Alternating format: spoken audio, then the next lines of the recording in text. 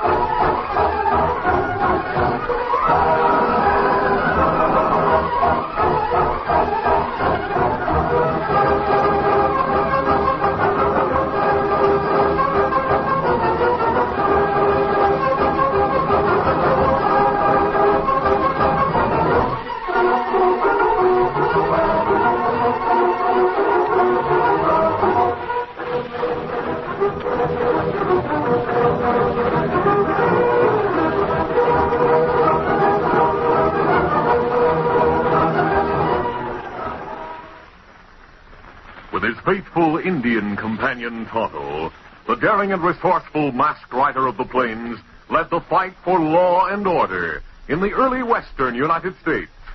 Nowhere in the pages of history can one find a greater champion of justice. Return with us now to those thrilling days of yesteryear. From out of the past come the thundering hoofbeats of the great horse Silver. The Lone Ranger rides again. Silver! Let's go!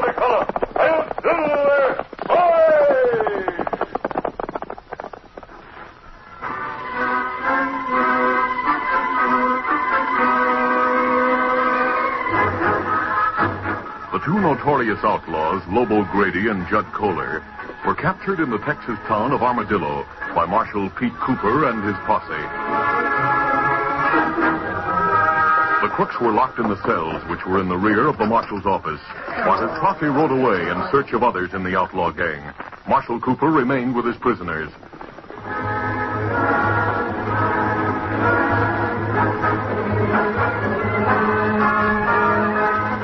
A short time later, a man, gray haired and benign looking, entered the marshal's office. He had a disarming smile, and his manner was at once timid and confidential. Marshal, I, I don't know how to say this because, well, because. Uh, Well, go ahead, mister. What's on your mind? may I speak to you alone? Well, there's no one else here, mister. But if you want to keep those prisoners back there from overhearing, it's all right with me. Now, what is it you want? Get your hands What? up. what? Give me that gun. All right. Here it is. That'll take care of you. Hey, boy, it's me, Tap Tap. I'll get the keys and let you out in a minute. Yeah, give me those keys, Marshal. Yeah, that's it. The gray haired man released Lobo Grady and Judd Kohler from their cells, then led them back into the marshal's office. I figured out this little trick myself. It worked out fine, now, Lobo. Sure did. Judd and I thought we were going ashore this time. Where are the boys now, Tap Tap? Uh, leading the posse on a false trail. They'll double back and meet outside town. You have horses? Sure. Yours and Judd's are where the marshal left them. In the stable at the rear of the jail. We'll get them and head south. Uh, just a minute. Uh, hey, what are you doing in the marshal now, Tap Tap? just investigating. Uh, he's still bleeding, but it's not going to be for long. What are you taking out of his pocket? Uh, his wallet.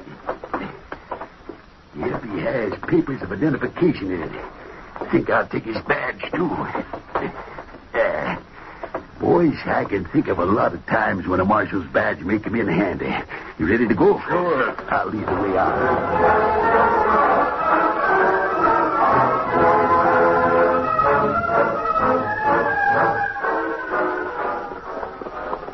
The Lone Ranger and Tonto, traveling north, reached the town of Armadillo early that morning. The town was not yet awake, so the masked man rode through the deserted main street with Tonto and stopped before the marshal's office, half an hour after the crooks had escaped. We'll drop in and tell Marshal Cooper we met his posse south of town looking for the rest of Lobo Grady's gang. Ah. It good him have crooks behind bars, them bad ones. Grady and Kohler are among the worst, Tonto. Well, let's go inside. Ah.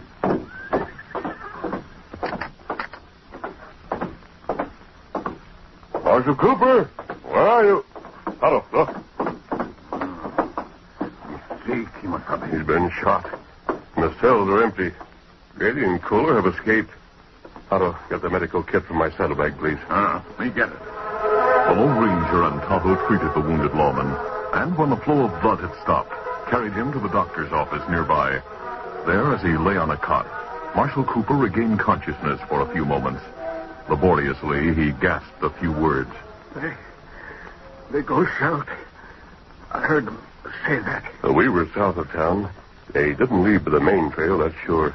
How many were there? Only three. Man tricked me. Shot me. Uh, we know the rest. Marshal, who was the man who tricked you and helped them escape? Do you know? Tap, tap. They called him Tap, tap. Kemo Sabe. Him say tap, tap. That doesn't make sense, does it? It makes very good sense, Doctor. You must be speaking of Tap Tap Spaulding. That's a man's name, Tap, tap. The nickname. His given name was Edward. But why? Why the Tap Tap name? Doctor, it's because Spaulding was once a telegraph operator. Unfortunately, he was a crook before he became a telegrapher. The telegraph company didn't know that? No one did. Spaulding's always been able to fool people. Anyway, as an operator, he learned many things about shipments of money and valuables. When he had inside information like that, he'd pass it on to the gangs he worked with. What company find out? That's right. However, Spaulding escaped before they could arrest him. He's been an active outlaw ever since. I never heard of him before. Doctor, that's because he operated mostly near Dodge City. Same as Lobo Grady and Judd Kohler. They came to Texas territory because the law was too close to them in Kansas. None of them are known here. That's why they're doubly dangerous. Marshal Cooper said they fled south, didn't he? Yes, that's what he said. I wonder if they really are heading that way.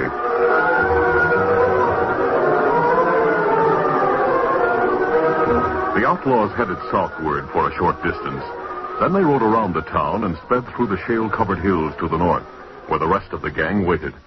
Lobo Grady spoke to his men. Boys, even if the marshal's men do figure we've doubled back, they'll never be able to pick up our trail in these hills. That's right. The ground's nothing but rocks and shale between here and Jocko City. I figure the best thing we can do is ride until we get into Indian territory. Plenty of pickings up there for us. What about grub, Lobo? We're clean out of it. I'll tell you what. We'll be in the hills near Jocko City about nightfall. When we get there, we'll send Tap Tap into town to look things over. There's a general store there. If Tap Tap gives the word, we'll ride in and get grub either by robbing it or paying. Well, there's something else we'd better do first, though. Yeah? What's that, Tap Tap? They have telegraph wires strung all along the trail between here and Places North. We'd better cut 'em down. You mean that? Sure. You don't want the marshal to send word all along the line about us, do you? Hmm, sure don't. Then we don't let him. I'll climb one of the poles and cut the wires running north of Armadillo. It'll be days, maybe, before they find where the break is. I'll do it right now. At that moment, a few miles to the north, but on the main trail, a herd of 50 horses was being driven by a small but hard-riding band of Mexicans. The riders were led by the two handsome sons of a Mexican horse breeder and his American wife. The youths, Juan and Miguel Fierro, were the only ones who spoke English, and this was the language they used in their conversation as they rode. Miguel, the day is hot. Soon I think we must stop and rest. But Juan, we make such poor time. At the rate we go, we never will reach this place called Dodge City. Oh, I think you are very wrong, brother. We are very close, I think, to the schedule that Father made for us. Now, that may be so. Um, still, I am the impatient one. Not knowing this country, it's hard to judge what it Miguel, the horses, look. They stampede across the field. They head for it. But now they stop. You see why, brother? but yes, I see. They have smelled water, and there's a stream nearby. ah, they stopped to drink. ah, yes. So, Miguel, we do as the horses do. We stop and drink also, eh? Hey. Oh, oh,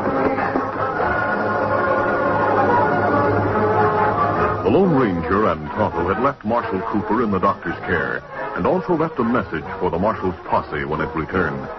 They had picked up the trail of the three outlaws, following the hoof prints from the marshal's stable. But they were not surprised when they saw the prints circled around to the north. They're doubling back again, Tonto, and heading north. Ah, I'm going to hills. It'll be difficult to follow a trail there. It's all shale and boulders between here and Jarko City. We go after him, Kemo Sabe? Yes, Tonto. But we'll stay on the main road for the first few miles and head into the hills after that. We'll make better time that way. Uh-huh. Come on, Get him up, Scout. The Lone Ranger and Tonto, galloping along the main road, reached the field where Juan and Miguel Fierro and their riders were preparing to start off once more with their herd of horses. The Mexicans reached for their guns as they saw the masked man and Indian, but the Lone Ranger and Tonto raised their hands high in peaceful salute. The masked man introduced himself to the brothers and heard their story. Juan Fierro finished. Horses which my father raised on our ranch are the best in all North Mexico. We know our American friends will pay great prices for them because they are wonderful horses. There's a great market for animals like those in Dodge City. I'm sure your venture will be very successful. That is nice for you to say, senor. Still, fine as our horses are, I would trade them all gladly for that wonderful white one you ride. Is he not a beauty, Miguel? Oh, are the most magnificent ever I did see. The brothers and their riders, after admiring Silver and Scout, asked questions about the country to the north of them. The Lone Ranger told them all he thought might be pertinent and ended. You should reach Jarko City about sundown. I'd advise you to stay in the town overnight. With these horses, senor, we should remain in the town? Yes. Uh, Tonto and I are searching for an outlaw band. We believe they're somewhere in the hills above. Oh. I doubt that the outlaws would try to steal your horses, but there's just a chance if they think they're not being followed. Oh, but such a thing would be most tragic. That's why I advise you're taking the horses into the town. You'll find a large corral behind Phil Allen's stables. Phil Allen. We remember that name once. But yes. A good night's rest at a hotel would be good for you and your man after so many days on the trail. Senor, we thank you very much for the advice you have given to us. Will you not honor us by riding with us for a while? I know, thank you. Hal and I are going into the hills now. Perhaps we'll meet again on the trail before you reach Dodge City. But right now, we think only of getting to Jarko City. Adios, senor. Adios, amigos. Adios. Come on, Silver. Come up, Scout.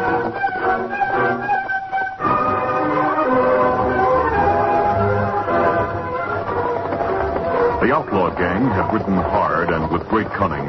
They reached the hills above Jarko City shortly before sunset and took haven amidst a great field of giant boulders. Yeah, we made much better time than I ever figured, that Chuck. Sure did. Even if the posse did pick up our trail, Well, no posse ever could. I'm saying if it did, none of them would ever think we got as far here in one day's riding. Well, we gotta think about that grub now. Yeah, I, I get you, Lobo. You want me to get down to town and look things over, huh? Yeah. None of us have ever been in that place. Still, it's better not to take chances. Yeah. We ought to make sure that telegraph service hasn't been restored between there and Armadillo. But you said nobody would find the cut. That's right. Should take days, and we can't take chances. Not that we're sure. Tap Tap's right. So go ahead, Tap Tap.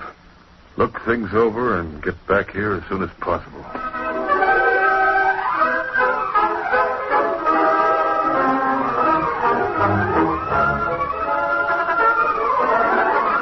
Curtain falls on the first act of our Lone Ranger adventure. Before the next exciting scenes, please permit us to pause for just a few moments.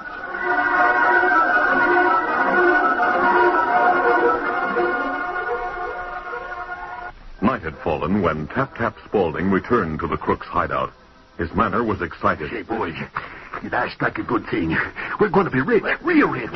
But we'll have to work fast. What are you talking about, Tap Tap? What about grub? We're gonna get some? I didn't bother to find out about food. Are you fooling? No, no, I'm not. But listen, will you all here? Yeah, what is it, Tap Tap? What brings the biggest money returns in Indian territory? Red Eye. Now, you're wrong. That brings chicken feed compared to what you get for a good horse. Horses sell as high as $500 a piece there. And you come back to tell us that? Boss, there's about 40 or 50 horses down there in Jarko City in the corral behind a place called Allen's Stables. We'll take those horses tonight and be on our way north before anybody knows what happened. You loco. Horse stealing is the worst thing you can do in this country. We'd never get away with stealing horses. And that many. That's just it. That many will be easy to get. We'll take them away just as calm and legal-like as if they belonged there. Well, as if they belong to you, Lobo, you, Judd. What are you trying to get at? Tap Tap told of trying to send a wire to Armadillo and being advised that service was not in order. That means no one's found the cut in the wire. Just like I said. It also means no one knows about Lobo and Judd shooting the marshal and escaping. What has that got to do with horses? I'm coming to that, Judd. Listen. Tap Tap told of seeing the horses and learning of their ownership. He concluded, And only two kids speak English. The rest are Mexies. And for all anyone knows, they could be horse thieves. And that's what we're going to make them. We're going to make them horse thieves? Yep. Remember, Lobo, I took Marshal Cooper's badge and papers? Oh, yeah. Yeah. I told you it might come in handy. It will. Hey, you boys have never been in Jarko City, eh? Ah, you know we haven't. We never been in these parts before. That's what makes it perfect. We keep cool, and we'll be driving those horses toward Indian territory tonight. But you still haven't told us how. Here, here it is. Who sends telegraph messages in code? Tap, tap. Who can climb a telegraph pole and by cutting in on the wire send a message? Tap, tap again. I'll send a message over the wire from that pole down near the road.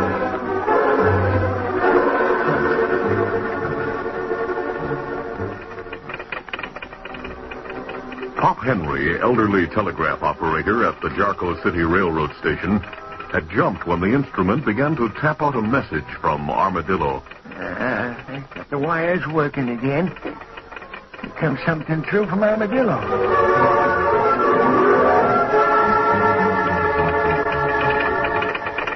By the time the message was completed, he was bug-eyed and hardly able to restrain himself. Jibbity jobbity! Horse thieves they are! Wait till Sheriff Maxwell reads this.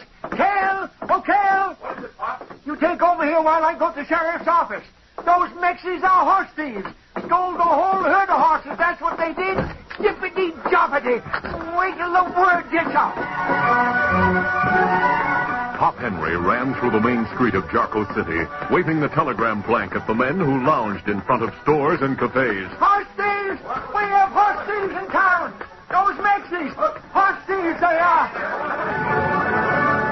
By the time Pop Henry arrived with a message at Sheriff Maxwell's office, half the men in town were standing in the open doorway behind him. As Sheriff Maxwell read the message, Pop Henry turned to the crowd. Boys, those Mexies stole that herd of horses they brought into Allen's corral this afternoon. That message came from Marshal Cooper in Armadillo, telling us to hold them. He's sending another marshal named Fleming here with the real owners of the horses. Isn't that right, Sheriff? That's what it says here, all right. It appears like they took the horses, drove them out of Armadillo after murdering a couple of hands. And they cut down the telegraph wire so we wouldn't know what happened when they came through here with the horses. Can you imagine them horse thieves having the nerve to put up the horses for the night? Uh, Marshal Cooper describes the brand on the horses. The owner will be here with that Marshal Fleming who's coming with his posse. Well, what are we doing standing here? There's only one thing to do with horse thieves. Yeah, especially Maxie horse thieves. String them up. Yeah. Yeah, string them up. Uh, light up torches so we can see. Let's go get one. Stop! Fight the law in this town. We're not going to have any necktie parties while I'm sheriff. Now stop it. Come back here. I'm the law. As the crowd headed for the corral behind the stable where the Mexican riders guarded their horses, two horsemen came down from the hills in the darkness to the edge of the town's main street. The Lone Ranger and Tonto had made a vain search through the hills for Lobo Grady's gang and were planning a new course of action. Tonto, ride to Sheriff Maxwell's office. We've helped him at times in the past. Perhaps he. Tonto, that crowd straight ahead. Look, they're carrying torches. Ah. There's something wrong there. Come on, Tonto. We get closer to them and see what's taking place. They'll never notice us, judging by the way they're milling around. All right, let's go, Silver.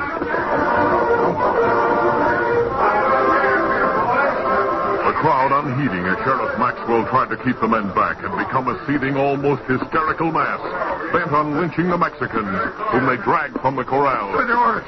Oh, no, bandidos. Listen to him. Can't even talk so as you can understand him. There's two more staying in the hotel.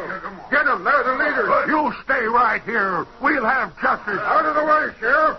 Hey, here come the other two horse thieves now. Juan and Miguel Fierro, dressing hastily, had run into the street to learn the reason for the riotous outburst in front of the hotel. Before they knew what was wrong, the crowd grabbed them and roughly dragged them to where their Mexican friends stood in terror. Hey, horse thieves. Steal horses and murder good men, will you? Yes, senores. What are you doing? We're not horse thieves. These horses belong to us. We took them from our... that? They took them. They stole them. You men, stand back. Get away, Sheriff.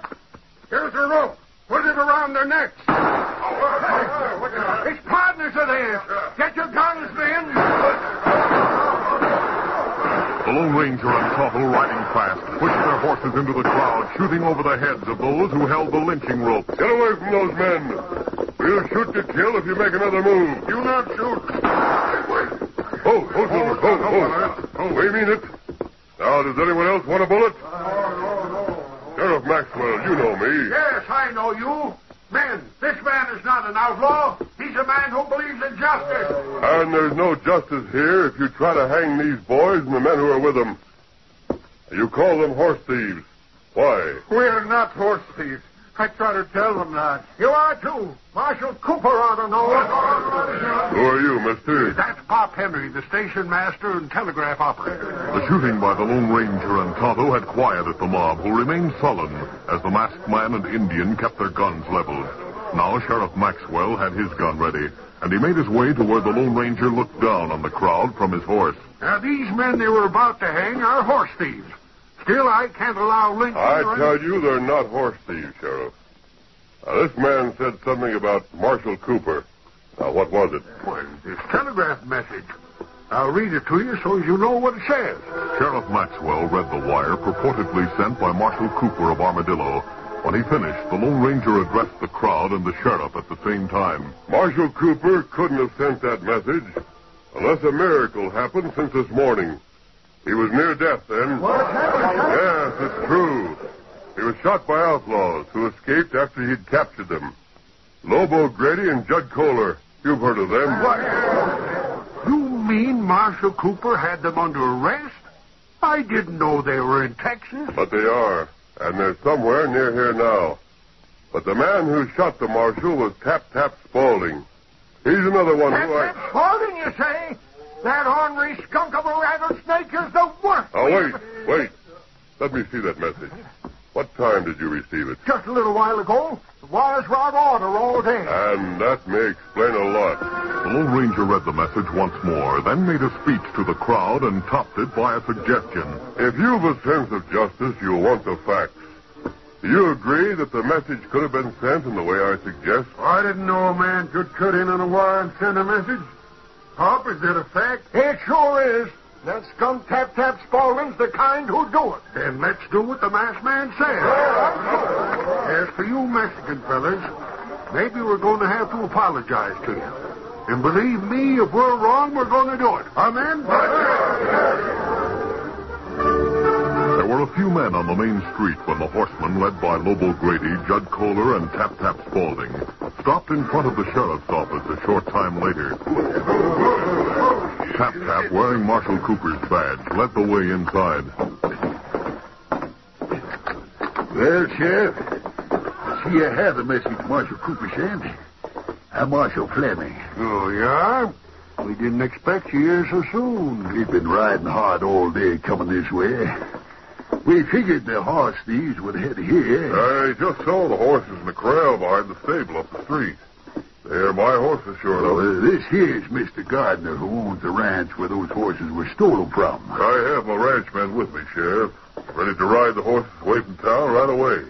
My foreman. I'm here the foreman. Uh, I'll get my boys out of the corral now, Sheriff. You say the word. Well, I'm not so sure the horses belong to you. What's that? This message I have here is in Morse code. It says the brand on the horses is circled bar F. No, that's not true. Let me see that message. Where, where do you see that? This message says... Go on, Tap Tap. What does it say? It? Masked man. He knows you, Tap Tap. And you too, Lobo. It's a trick. Oh, I'm shot. Hey, we walked into a trap. Hey, look. There's a mob behind the boys, little boy. They're making our boys put up their hands. You get yours up too, Tap Tap. You walked into the trap you tried to lay for someone else, didn't you? Give me that badge you're wearing. That probably belonged to Marshal Cooper. It did. You and your smart ideas, Tap Tap. We were going to get rich. You're going to go to jail. Be lucky you're not getting the rope that these people almost placed around the necks of innocent persons. Miguel, Juan, this crowd promised you an apology. Come here and make them give it to you. But no. A mistake has been made, and we do not we want to... wanted to tell you how ashamed we are. Uh, don't we, man? Yes. We picked on you right off because, well, because you weren't one of us. That's But we'll never try to take the law in our hands again. And believe me, we'll never be prejudiced again. Hey, what's the idea of the speeches? I'm shot. So's my partner, Judd. We need a doctor. You get a doctor after he finishes with a few friends who got the same treatment from the masked man. He saved them from murder. And he saved you coyotes with the rope in the prison cells. And now, after he does all these things, suddenly he is gone. Senors, who is that masked man? He's the friend of everyone who's in the right, regardless of who they are or where they come from. He's, well, doggone, he's the Lone Ranger.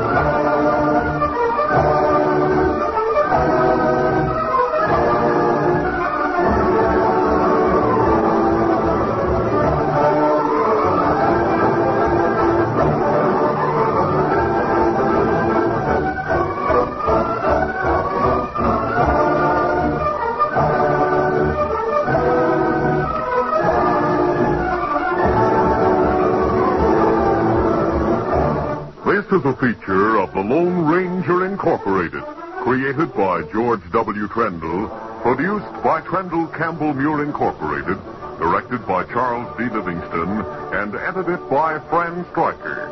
The part of the Lone Ranger is played by Brace Beemer.